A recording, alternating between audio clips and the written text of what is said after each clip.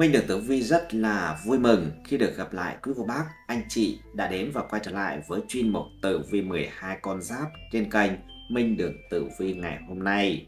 Lời đầu tiên, thay mặt cho 30 tập chương trình, những người làm chương trình xin được gửi lời chào, lời chúc tới quý cô bác, anh chị có được vận trình như cá chép hóa rồng, gặp hung hóa cát, vượng vận quý nhân, vận may ập đến, tiền bạc ùn ùn đổ về nhà, trúng số giàu thua, đổi đời như ý, xứng tầm đại gia.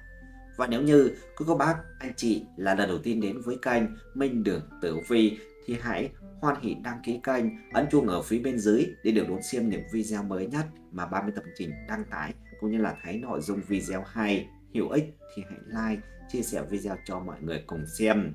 Quý cô bác, anh chị cũng đừng quên để lại ý kiến đóng góp ở phía bên dưới phần bình luận kênh Minh Đường Tử Vi chân thành cảm ơn quý cô bác, anh chị. Trong nội dung video ngày hôm nay mà ba biên tổng trình gửi tới quý cô bác, anh chị đó chính là nội dung như sau. Chấn động, bất ngờ giới tiên tri tiết lộ sự thật cực chuẩn về vận mệnh cuộc đời của tuổi canh tuất sinh năm 1970. Trong tháng 3 và tháng 4 âm lịch 2024, biết được điều này, thay đổi vận mệnh, tiền vàng ùn ùn kéo về chật két, thoát khỏi cảnh nghèo khổ, đổi đời đại gia. Chào mừng quý khán giả đã quay trở lại và đồng hành cùng Minh Đường Tử Vi trong chương trình Tử Vi 12 con giáp ngày hôm nay. Lời đầu tiên, thay mặt cho những người làm chương trình, xin được gửi đến quý khán giả lời chúc sức khỏe, hạnh phúc, bình an và thành công thật nhiều trong cuộc sống của mình. Quý khán giả thân mến, cuộc sống vốn không phải là con đường trải đầy hoa hồng, dành riêng cho bất cứ một số phận nào trên bước đường đời chúng ta sẽ phải trải qua đầy những thử thách, khó khăn để trưởng thành và khôn lớn. Có đôi khi sự khắc nghiệt của cuộc đời sẽ đẩy ta xuống vực sâu, ban cho ta những thất bại, thảm hại. Nhưng cái quan trọng không phải là ta đã thất bại ra sao, mà là ta đã làm gì để vượt qua nó. Ai cũng có cho mình những lựa chọn riêng, hoặc là đứng dậy và bước tiếp, hoặc là mãi vùi chôn mình ở hố đen của sự nghèo hèn, thất bại. Sự lựa chọn ấy sẽ quyết định tương lai của mỗi người. Nhiều lúc thân nhau chỉ ở một lần ta cố gắng, chính vì thế khi đứng trước khó khăn, ta đừng nản chí, nản lòng, thay vào đó, hãy quyết tâm nỗ lực, cố gắng hết mình để tìm kiếm thành công. Bước qua gian khổ, hạnh phúc mới thực sự vẹn tròn, bởi đời người là cuộc hành trình vượt qua những thử thách với một lòng quyết tâm và nghị lực phi thường đó. Nhiều người hỏi tôi rằng, không hiểu sao họ sống đã quá nửa đời người mà vẫn không hết khổ, tại sao làm việc chăm chỉ quanh năm ngày tháng mà vẫn nợ nần, túng quẫn, không ngóc đầu lên được, nhưng lại có những người đẻ ra đã vượt qua vạch đích, chẳng cần làm gì cũng thừa hưởng cả gia tài cơ nghiệp bạc tỷ, tiêu mấy đời mấy kiếp cũng không hết, đó là do số mệnh an bài của mỗi người và chỉ những người nhìn thấy trước vận mệnh thì mới có thể thay đổi hiện thực khắc nghiệt đó. Người xưa có câu, ở hiền thì gặp lành, hiền lương sinh phú quý quả thật không sai, trên thực tế, mỗi người sinh ra đã được an bài số mệnh riêng, tuy nhiên bên cạnh đó, tính cách của mỗi người cũng quyết định phần nào cho số phận của họ.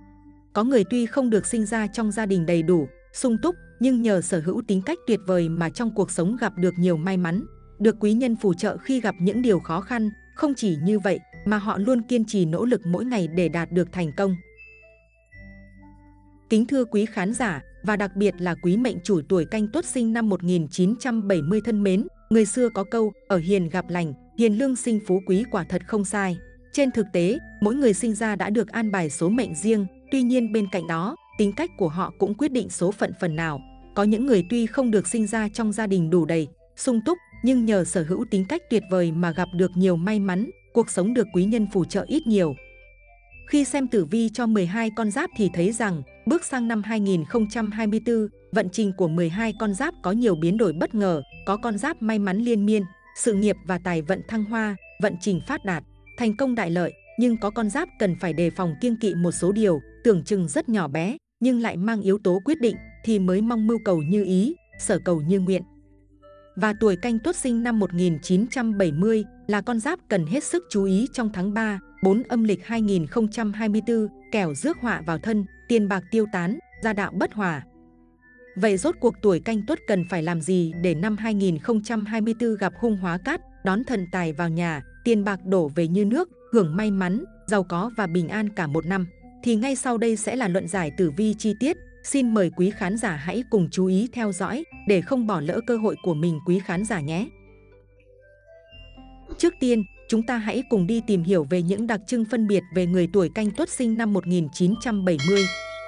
Canh tuất là những người sống ngay thẳng, thật thà và tốt bụng. Họ không bao giờ vì tiền tài, vật chất, địa vị mà đánh mất đi giá trị phẩm chất của con người mình. Dù làm việc gì, canh tuất cũng nghĩ cho lợi ích của cộng đồng, tập thể. Người tuổi canh tuất là những người thích cho đi, họ yêu thương, quan tâm tới mọi người bằng sự chân thành, họ thường trở thành nguồn khích lệ tinh thần của người thân, bạn bè. Khi hợp tác làm ăn, cho dù là kinh doanh hay làm nghệ thuật, họ không bao giờ theo đuổi danh tiếng và tiền bạc đến mức quên mọi thứ khác. Họ cần một mối quan hệ tốt đẹp và đôi bên cùng thắng. Với sự nhạy cảm sẵn có, canh tuất thường áp dụng chúng cho việc sáng tạo. Trong các lĩnh vực phát huy được khả năng sáng tạo của mình, họ sẽ luôn tỏ ra là nhân viên xuất sắc, thậm chí sẽ là người chủ tuyệt vời, chỉ với một điều kiện duy nhất là họ phải có hứng thú với ngành nghề đó. Việc bồi dưỡng để có năng lực tổ chức sẽ ngốn rất nhiều thời gian, cũng như sức lực của họ. Người tuổi canh tuất có thể làm rất tốt công việc thủ quỹ trong ngân hàng hoặc trong các cửa hàng. Tuy nhiên vì không thích những công việc đơn điệu, nhàm chán nên họ sẽ không thấy thoải mái, hài lòng khi làm những việc kể trên. Nếu ai đó thuê một nhân viên là người tuổi canh tuất thì người này sẽ không phải lo lắng đến chuyện nhân viên của mình đi muộn về sớm, quên ghi nhật ký bán hàng hay những vấn đề tương tự khác. Họ ý thức được tầm quan trọng của đồng tiền nên sẽ hết sức thận trọng trong việc quản lý tiền bạc, hạn chế đến mức tối đa các khoản chi tiêu không cần thiết. Canh tuất còn có khả năng chỉ huy việc xây dựng những công trình lớn hoặc có thể trở thành những người hoạt động trong lĩnh vực nghệ thuật. Họ sẽ thử mình trong rất nhiều lĩnh vực khác nhau như buôn bán đồ cổ, hàng thủ công mỹ nghệ, làm đại diện hoặc tổ chức các triển lãm nghệ thuật. Họ có khá nhiều hứng thú với việc kinh doanh, nhưng nghề trang trí nội thất mới thực sự giúp họ phát huy được hết những sở trường của mình. Canh tuất thường có tình cảm rất phong phú và khá nhạy cảm. Họ cũng hiểu biết nhiều về tình yêu và có thể xem là bậc thầy trong lĩnh vực này. Họ yêu người bạn đời của mình và sẽ cố gắng hết sức để xây dựng một gia đình hòa thuận, hạnh phúc. Họ thích cuộc sống gia đình và luôn tìm được trong đó cảm giác an toàn. Nếu mất đi cảm giác này, họ sẽ cảm thấy lo lắng, bất an. Họ cũng theo đuổi tình yêu chân thành một cách nồng nhiệt và nếu không thể có được điều đó thì sẽ cảm thấy rất bứt rứt, khó chịu. Phụ nữ tuổi canh tuất rất nhiệt tình trong giao tiếp, họ có dung mạo xinh đẹp. Phụ nữ canh tuất trưởng thành thường có khả năng tư duy rất tốt, thích đẹp nhưng ăn mặc lại rất chất phác, thích mặc những loại quần áo rộng bằng các chất liệu mềm thoáng. Khi họ tức giận thì đứng ngồi không yên. Phần lớn phụ nữ canh tuất rất biết quan tâm chăm sóc người khác, vui vẻ, hợp tác cùng mọi người và có thể hay đứng ra làm chứng những việc mà không ảnh hưởng đến lợi ích của bản thân họ. Họ là những cô gái thích nhảy múa, bơi lội hay những hoạt động ngoài trời. Họ là người bạn gái, con gái tốt của chồng. Nguyên nhân chủ yếu để họ làm được điều đó là không can thiệp thái quá vào công việc của người khác, nhưng lại vui vẻ lắng nghe người khác trình bày quan điểm. Phụ nữ canh tuất khi đối xử với người khác họ thể hiện đức tính luôn hòa hợp, vui vẻ, nhẹ nhàng, tiếp cận và hòa đồng trong tình hữu nghị của mọi người. Khi bạn tiếp xúc với phụ nữ canh tuất, có thể đến thăm nhà của họ, cùng họ uống trà, nói chuyện và ngược lại, có thể mời họ đến nhà bạn chơi. Trong các quan hệ bình thường, có thể dần dần hiểu nhau, vui vẻ, cùng nhau kết bạn chân thành, bạn phải nhớ rằng ở đâu đó trong tiềm thức những người canh tuất luôn tiềm ẩn tính cảnh giác. Vì thế trong mối quan hệ, bạn tuyệt đối không được hấp tấp, vội vàng. Phương thức tốt nhất là tuân thủ từng bước, dần dần đẩy sâu mối quan hệ. Khi bạn đã có được niềm tin của cô gái tuổi canh tuất, sẽ trở thành người bạn tri âm, tri kỷ, dù sau đó bạn có thể gặp bất cứ hoàn cảnh nào, phá sản hay phát tài, thì họ cũng không bao giờ quay lưng thay đổi tình bạn. Rất ít phụ nữ ở các tuổi khác có thể bị được tính chân thành, trung thực với các cô gái tuổi canh tuất. Nam giới tuổi canh tuất là những người có khí phách sung mãn, khi lâm vào những hoàn cảnh bất khả kháng, họ cũng rất khéo thông qua ý kiến của mình để tác động đến người khác. Bởi vì họ làm việc rất nghiêm túc, những việc được người khác giao phó, chỉ cần nằm trong phạm vi trách nhiệm của họ, họ sẵn sàng giúp đỡ người khác. Khuyết điểm của người này là kém sức nhẫn nại về phương diện tình cảm. Người tuổi canh tuất có thể thả mình trong những mối quan hệ nồng nhiệt. Họ có thể trầm mặc, âm thầm yêu thương người mình thương yêu và luôn quan tâm chăm sóc ở những phương diện khác. Đặc biệt, họ rất khó tin tưởng người khác, nhưng khi đã tin tưởng rồi thì họ không bao giờ tiết giảm niềm tin đó. Niềm tin đó đối với bạn bè họ thể hiện ở chỗ, nếu bạn vô tình xúc phạm đến những người bạn của họ, thì bạn sẽ lập tức được chứng kiến phản ứng của họ. Những người canh tuất sinh về đêm thường nóng tính hơn những người sinh ban ngày, họ thường dễ sinh xung đột với người khác. Tuổi canh tuất dù sinh vào bất cứ mùa sinh nào, cũng thường được thuận lợi trong cuộc sống, cả đời không mấy khi phải rơi vào hoàn cảnh đói ăn, thiếu mặc. Sau đây, sẽ là tổng quan vận trình tử vi trong tháng 3 và tháng 4 âm lịch 2024 của tuổi canh tuất sinh năm 1970. Xem tử vi năm 2024 âm lịch cho thấy, cục diện xung thái tuế gây ảnh hưởng hầu hết đến các phương diện cuộc sống của con giáp này trong tháng 3 và tháng 4 âm lịch 2024. Tài vận và các mối quan hệ có thể sẽ gặp biến động lớn trong hai tháng tới này. Tiếp theo chương trình ngày hôm nay sẽ là phần luận giải chi tiết về vận trình tử vi trên từng phương diện tuổi canh tuất sinh năm 1970 trong tháng 3 và tháng 4 âm lịch 2024. Xét về phương diện công danh, sự nghiệp tuổi canh tuất sinh năm 1970 trong tháng 3 và tháng 4 âm lịch. Con đường công danh sự nghiệp của tuổi canh tuất đầy những trắc trở, khó khăn, bạn cần xác định rõ mục tiêu của mình và xác định sẵn tinh thần để có động lực vươn lên, không đầu hàng nghịch cảnh thì ắt sẽ chạm tới thành công. Trong hai tháng tới này, các mối quan hệ xã giao của bạn không được tốt, bạn khó có thể tìm được người đồng chí hướng với mình, thậm chí chỉ cần có người bày tỏ thiện ý với bạn đã là tốt lắm rồi. Đa số thời gian là bạn sẽ phải tự lực cánh sinh, không được ai giúp đỡ, dễ dẫn đến tình trạng tâm lý mệt mỏi, căng thẳng, áp lực, đồng nghiệp cản trở, đối thủ cạnh tranh là nguyên nhân chính khiến các công việc của bạn khó có thể tiến hành theo đúng kế hoạch. Tuy nhiên, dù có bị quấy rối, làm phiền, thì bạn cũng cần nhắc mình bình tĩnh cư xử, chớ nóng này kẻo hỏng việc, kẻ xấu cũng sẽ có cái cớ để nhân đó hãm hại hoặc giành mất công lao của bạn. Khi được giao cho phụ trách công việc, bạn chớ làm với tinh thần đối phó, được chăng hay chớ, vì như vậy thì rất dễ mắc lỗi sai, ảnh hưởng tới hình ảnh của bản thân và cả tập thể. Khi vấn đề xảy ra, bạn cũng cần dũng cảm đối mặt với sự thật, đừng tìm cách trốn tránh hoặc đổ lỗi cho ai, dù là người đứng ở vị thế lãnh đạo đi nữa. Con giáp này cũng không được lơ là, bởi nhiều quyết định của bạn có thể sẽ ảnh hưởng sống còn tới cả tập thể. Bạn không nên nghe theo lời xúi dục của những kẻ nịnh hót. Khi đứng trước các vấn đề, bạn cần có cái nhìn đa chiều và đúng đắn, đừng nghe theo lời nói một chiều của bất cứ ai. Xét về phương diện tài lộc, tuổi canh tuất sinh năm 1970 trong tháng 3 và tháng 4 âm lịch. Tử vi khoa học nhận định, tình hình tài chính của tuổi canh tuất cũng khó có thể tiến triển được như mong muốn ban đầu của bạn ngay từ thời điểm đầu năm. Bạn đã nên xác định cho rõ định hướng của mình, không nên đặt ra những cái đích quá xa vời, vừa khiến bản thân mệt mỏi, lại vừa dễ rơi vào cảnh thua lỗ. Người làm công ăn lương nên chú ý vào nhiệm vụ của mình, chớ lơ là kẻo kẻ xấu lợi dụng cơ hội chiếm công, khiến công sức lao động bỏ ra đều trở nên uổng phí. Bạn cũng cần chú ý vào công việc, bởi nếu không rất dễ xảy ra lỗi sai, vừa ảnh hưởng đến người khác, lại vừa phải tốn công sức và tiền bạc để sửa chữa. Với người làm ăn kinh doanh, bạn gặp nhiều bất lợi khi đối thủ đều quá mạnh mẽ, trong khi chính bản thân mình lại chưa tìm ra được lợi thế để cạnh tranh. Con giáp này cần phải thực sự bình tĩnh để đánh giá đúng tình hình thực tế, cũng như điểm mạnh của bản thân, chớ vội vàng đưa ra các quyết định, để rồi vướng phải thua lỗ lớn hơn. Người thiếu kinh nghiệm cần hạn chế dốc hết tài sản của mình để đầu tư vào một lĩnh vực nào đó, vì như vậy khó thu hồi vốn và cũng dễ phải chịu những tổn thất nặng nề. Tốt nhất hãy tiến hành từng bước chậm mà chắc, không nên chạy theo xu thế, bạn cần tích lũy kinh nghiệm dần dần rồi mới có thể làm ăn lớn được.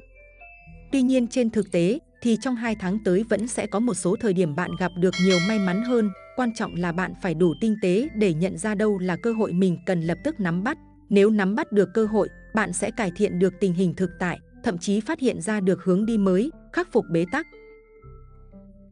Xét về phương diện sức khỏe, tuổi canh tuất sinh năm 1970 trong tháng 3 và tháng 4 âm lịch.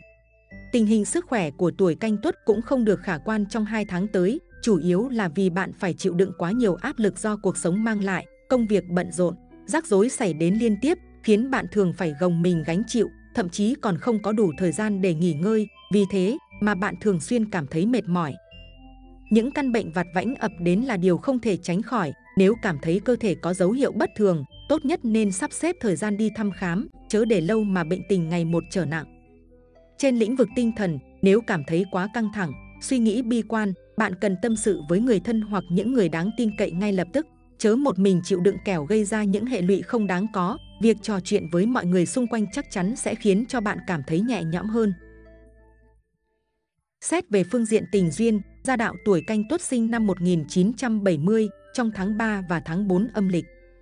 May mắn là cục diện ngũ hành tương sinh lưu niên sẽ đem lại điểm sáng cho tuổi canh tuất trên phương diện tình cảm, dù phải đối diện với sóng to gió lớn ngoài xã hội, thì khi về nhà, bạn vẫn nhận được sự động viên, an ủi của mọi người xung quanh. Nhờ thế mà bạn cảm thấy như được tiếp thêm dũng khí và nguồn năng lượng.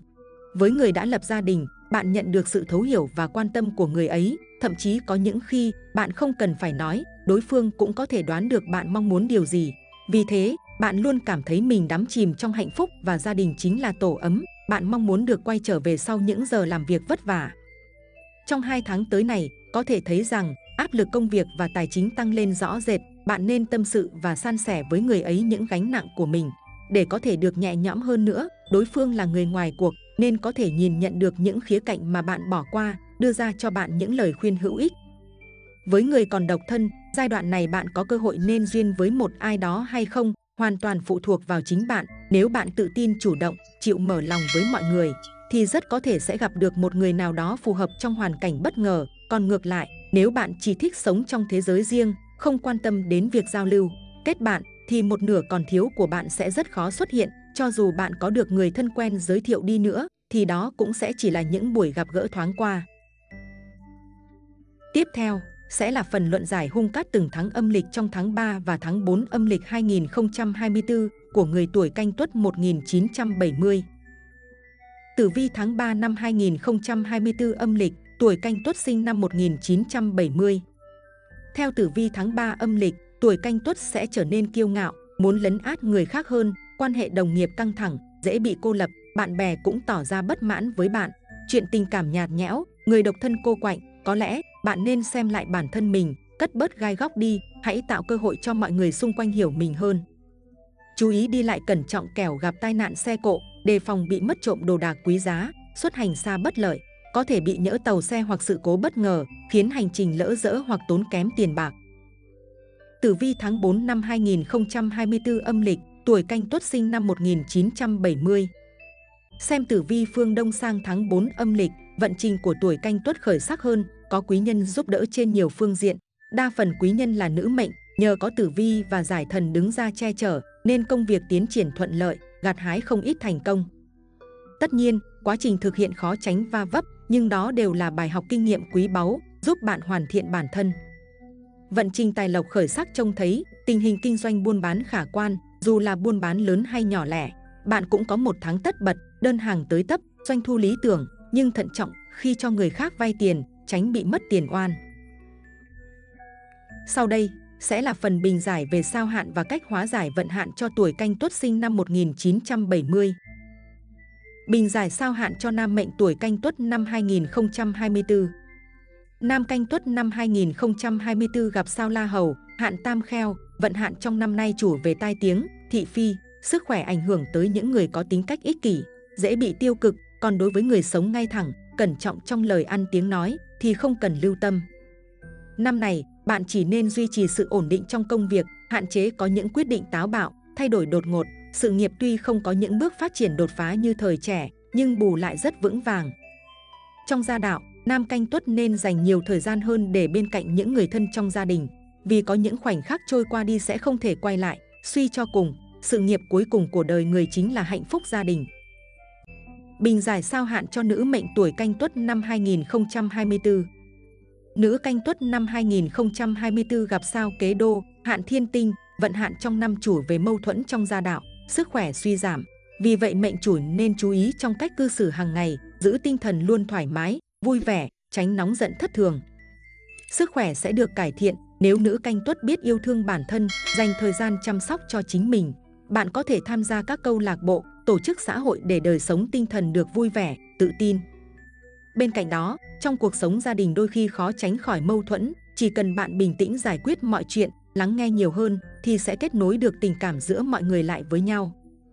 Ngoài ra, bạn có thể chủ động làm nhiều việc thiện, giúp đỡ mọi người xung quanh, thường xuyên phóng sinh, dần già tai ương, vận hạn sẽ tan biến. Việc dâng sao giải hạn tốn kém, mất nhiều công sức mà chưa chắc đã có được hiệu quả bằng chính việc làm của bản thân mình. Tiếp theo, trong chuyên mục Phong thủy may mắn năm 2024, Minh Đường Tử Vi xin chia sẻ tới quý khán giả về màu sắc may mắn, giúp canh tuất gặp hung hóa cát, vận khí vượng suốt cả năm. Tử Vi canh tuất năm 2024 thấy rằng đây là một năm nhiều biến động thăng trầm, vất vả ngược xuôi. Tuổi canh tuất gặp liên tiếp những rắc rối, xung đột trong công việc cũng như cuộc sống khó có lúc nào được bình yên. Màu sắc may mắn của canh tuất năm 2024 Màu nâu vượng sự nghiệp Màu nâu giúp làm giảm bớt những vất vả, khó khăn mà tuổi canh tuất có thể sẽ gặp phải trong công việc, đồng thời duy trì được tinh thần lạc quan, không dễ dàng đầu hàng trước khó khăn, thử thách. Màu xám vượng tài lộc Nếu thường xuyên sử dụng màu sắc này, bạn sẽ cảm thấy tự tin hơn khi giao tiếp với mọi người, từ đó có được lợi thế khi cạnh tranh, đàm phán, đem lại những khoản đầu tư có giá trị cho công ty. Màu tím vượng tình duyên Màu tím sẽ giúp bạn có tư duy phóng khoáng, cởi mở hơn, dễ tạo quan hệ tốt đẹp với tất cả mọi người. Bạn cũng tự tin tiếp xúc, trò chuyện, kéo gần khoảng cách với người mà mình đem lòng yêu mến. Màu kỵ năm 2024 của tuổi canh tuất là màu xanh lơ, xanh lục. Sử dụng màu này khiến bạn suy nghĩ tiêu cực, công việc dễ gặp khó khăn, đồng nghiệp bất hợp tác, lãnh đạo gây khó dễ. Bạn cũng sẽ luôn phải chịu sức cạnh tranh lớn trong năm, nếu không thận trọng thì dễ bị kẻ tiểu nhân dắt mũi, lừa gạt tiền bạc. Thông điệp may mắn mà Tử Vi muốn dành riêng cho tuổi canh tuất sinh năm 1970 ở tuổi 55. Người biết buông bỏ là người chiến thắng trong cuộc đời này, chỉ khi một người có lòng bao dung, hết thảy và biết buông bỏ những gì không đáng có thì mới có thể dung nạp vạn vật và thành tựu. Sự nghiệp không cần phải trở thành vĩ nhân, nhưng nắm giữ bí quyết này thì quý mệnh chủ sẽ luôn được hạnh phúc trọn vẹn.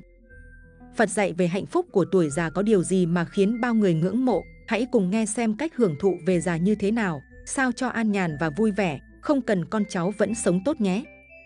Thứ nhất, nên sửa chữa lại danh tiếng của mình khi chúng ta về già, cô đơn chính là kẻ thù lớn nhất. Ai cũng mong trên đường về già sẽ có nhiều tiếng cười và ồn ào hơn, không bị con cháu hay bạn bè lãng quên. Phật dạy về hạnh phúc của tuổi già nói rằng tiếng tâm rất quan trọng, có duyên ắt gặp vận may, nhưng tiếng tâm tốt hay xấu là do chính mình vun đắp. Người ta tôn trọng người già và yêu trẻ thực ra ý nghĩa ở đây không phải tuổi tác mà lướt đức độ của người già. Người sống hiền lành có đức thì mới được tôn trọng. Tuổi già không phải là lý do để hưởng thụ, con cháu nên tôn trọng và yêu quý người già. Nhưng người già cũng nên học cách sống sao cho đúng, đừng cậy tuổi cao mà cư xử không tốt với mọi người xung quanh. Mệnh chủ không cần phải lấy lòng người khác, nhưng ít ra hãy sống hòa hợp và công bằng. Có như thế, thì ngay cả khi mất đi, cũng được người đời nhắc đến tiếng thơm. Chỉ có những hành động từ trái tim mới có thể mang lại hạnh phúc thực sự, nuôi dạy và truyền đạt cho thế hệ trẻ bằng đạo đức. Mệnh chủ sẽ nhận được sự tôn trọng và yêu mến từ trái tim của thế hệ trẻ. Điều này đã thấy rõ trong nháy mắt đối với người cao tuổi, muốn an hưởng tuổi già. Không phải lúc nào cũng chỉ có thể ăn được, hưởng thụ, mà còn cần vun đắp cho sự nổi tiếng của mình. Đó là là nguồn gốc đảm bảo cho hạnh phúc về sau. Chương trình đến đây xin phép được khép lại. Chúc quý mệnh chủ tuổi canh tuất sinh năm 1970 nắm được vận mệnh phú quý. Chúc quý khán giả viên mãn, sức khỏe dồi dào, hạnh phúc. Bên cạnh đó, quý khán giả đừng quên like và đăng ký kênh để ủng hộ ban biên tập chương trình và cập nhật những video bổ ích trong thời gian sớm nhất quý khán giả nhé. Minh Đường Tử Vi xin kính chào và hẹn gặp lại quý khán giả trong chương trình tiếp theo.